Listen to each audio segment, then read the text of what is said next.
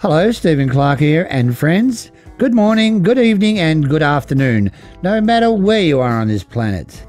We'll be taking a look at Thailand and Southeast Asia and beyond. So let's have a quick look at what we got on the video today. North Korea cuts off all communication with South Korea over him sending over dirty little messages in balloons. So the dear leader's dear sister gives them a mouthful. A Ukraine woman found dead in Koh Samui. Protesters demand answers on missing Thai activists in Cambodia. A doctor in Myanmar gets jail for insulting a monk. And dengue fever's on the rise. A pig virus has got us. It's worse than the coronavirus. Not really, but it's killing a lot of pigs. This is interesting. A robot dog in a supermarket entertaining everybody. And of course, the Chinese Communist Party warned all its citizens of China not to visit Australia because they're violent and rude and naughty. Well, okay, let's have a look at some news.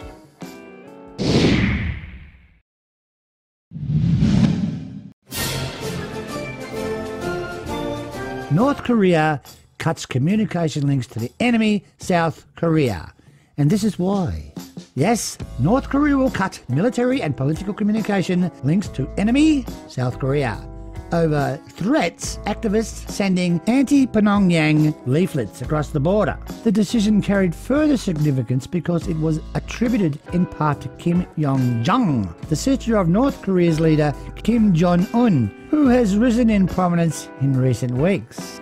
Kim's powerful sister, Kim Yo Jong, also threatened to scrap military agreements signed with Seoul unless the South stopped activists from sending the leaflets Pyongyang's way. Pyongyang will completely cut off and shut down liaison lines between authorities of the North and the South, which has been maintained through North's joint effort liaison office as well as other communication links. They mean business. Last week, she called the North Korean defectors who have fled to South Korea human scum. Oh, sorry, human scum. And, of course, mongrel dogs for flying propaganda leaflets across the border. North Korean defectors, which she calls human scum, and other activists have long flown balloons across the border carrying leaflets that criticise Kim over human rights abuse and his nuclear ambitions. This has driven the inter-Korean relations into a catastrophic, she said, a catastrophic what? She ended the sentence, I don't know why. We have reached a conclusion that there is no need to sit face to face with South Korean authorities, and there is no issue to discuss with them, as they have only aroused our dismay. Kim Yo Jong stressed that work towards the South should thoroughly turn into the one against an enemy. The military pact which Kim Yo Jong has threatened to scrap was signed during Moon's visit to Pyongyang in 2018, aimed at easing border tensions, but most of the deal has not been acted on. Pyongyang largely severed contact with Seoul following the collapse of the summit between Kim and US President Donald Trump in Hanoi last year that left nuclear talks at a standstill. Many experts suspect that underlying reason is an attempt to gain leverage in inter-Korean negotiations that have stalled since a series of high-profile summits in 2018. Do you know there's a rumour going around that uh, our dear leader, the North Korean leader, had one of his relatives executed with an anti-aircraft gun? Also, his brother was assassinated overseas by North Korea, so the rumour goes. And as for his sister, so how safe would Kim Jong Jong feel now? Ooh. Cop his sister?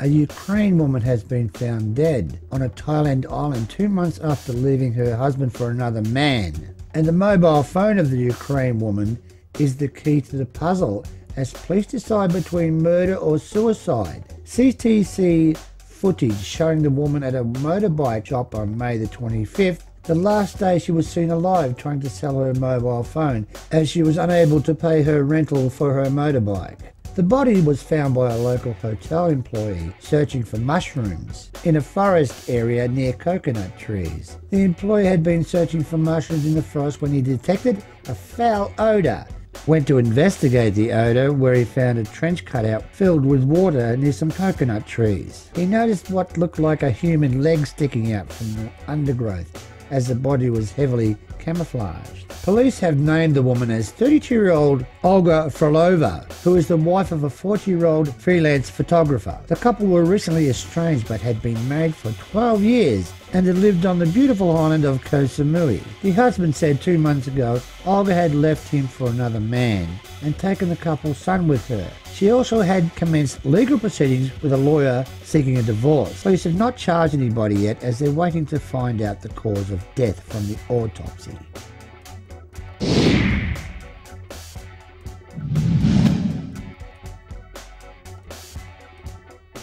Cambodia and Thailand urge to investigate Thai activist disappearance. Southeast Asian parliamentarians concerned with human rights issued calls on Cambodian Thailand authorities to investigate the case of missing Thai pro-democracy activist Wanchalearm Sapsak who was allegedly abducted in Phnom Penh, where he fled to escape criminal charges for criticising the former Thai junta after the 2014 coup. Dozens of protesters outside the Cambodian embassy in Bangkok demanded an investigation accusing the Thai state of orchestrating the kidnapping. Pro-democracy activist Wanchalearm Satsaksit, a sharp critic of the Thai government, was dragged into a car in broad daylight last week in the Cambodian capital of Phnom Penh, according to witnesses and security camera footage. Asian governments that allow these type of actions to take place on their territory are effectively turning the region into an autocrat's heaven, where the prosecution of decency knows no borders. Wanchalearm, a 37-year-old, was abducted two days after he posted an anti-government video on Facebook. A group of armed men abducted him close to his apartment in Phnom Penh and took him away in a black car. A colleague who was talking to him on the phone at the time heard him scream, I can't breathe, before the call was cut off. Some celebrities have taken to social media to express anger, and hashtags such as Save Wanchalearm are trending. We want answers, wrote Maria, a former Miss Beauty queen. The Thai people absolutely adore her and will listen to what she has to say. On January the 28th, the Thai authorities issued an arrest warrant for Wanchalearm, accusing him of violating the Computer Related Crimes Act for operating Facebook page critical of the military regime. The Thai Prime Minister Prayut Chan-o-cha on Tuesday said the Thai embassy in Phnom Penh is collaborating with Cambodian authorities. The embassy denied having any information about Wanchalearm's whereabouts. According to the rights watchdog, since the May 2014 coup, the Thai authorities have aggressively pursued the apprehension of pro-democracy activists who took refuge in neighbouring Laos, Vietnam and Cambodia. At least eight of them have become victims of enforced disappearance, it is said. Oh, Chan-o-cha, I think you want to throw somebody under the bus.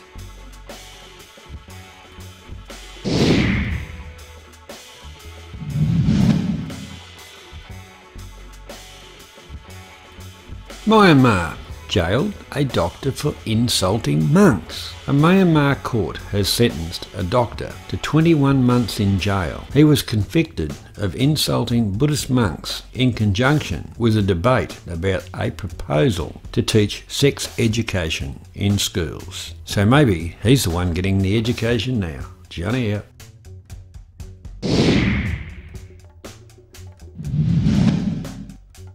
With the world concentrating on the CCP virus, with rains also brings mosquitoes, so an alert has been sent out again for dengue fever. It's back, or the potential is back. So once again, people are reminded to take precautions with the use of repellents, nets over your beds, the normal things that you would do because the last thing you want is to end up with dengue while you're hiding from the CCP virus. Johnny out.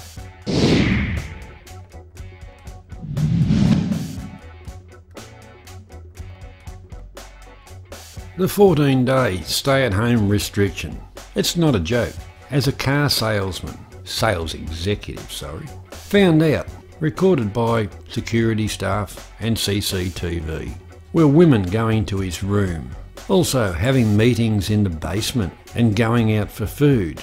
Officers of the ICA checked and also informed him that it was mandatory that he stay in his room. But he didn't. He was charged and prosecuted. The prosecution pushed for six weeks jail.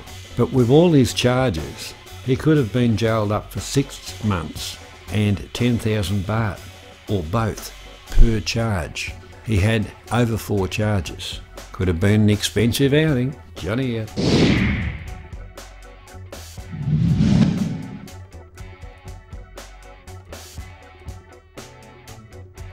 Also in Myanmar, the Chin state, a pig virus has broken out, killing 200 pigs. Agricultural, Livestock and Irrigation Ministry said on the 2nd of June it had stepped up control measures. The porcine circovirus PCV2 had been detected, so transport of pig or pork is being closely monitored and regulated. I wonder if there's a curfew on the pigs. Johnny out.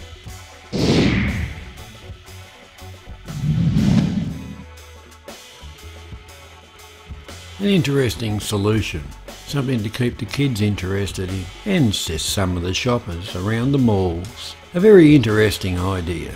A little robot-like dog dispenses hand cleaner. It's just another method Thai malls will use to see the measures taken in the kingdom to help relieve the virus restrictions. Nothing like artificial intelligence. Maybe it should have a YouTube channel. Johnny out.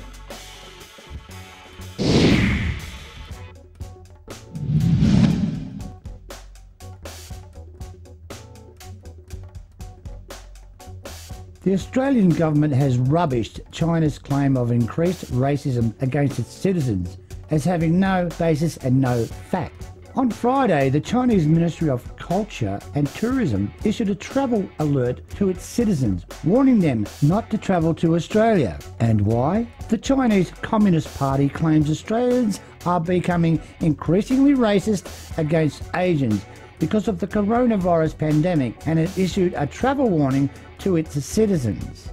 However, the statement did not elaborate on specifics, examples of such discriminating or violence against people of Asian background. And the reason they can't do that is because there is no evidence of discrimination or violence against people of Asian descent. Let's look at a few facts. The population of Australia is around 26 million at the moment.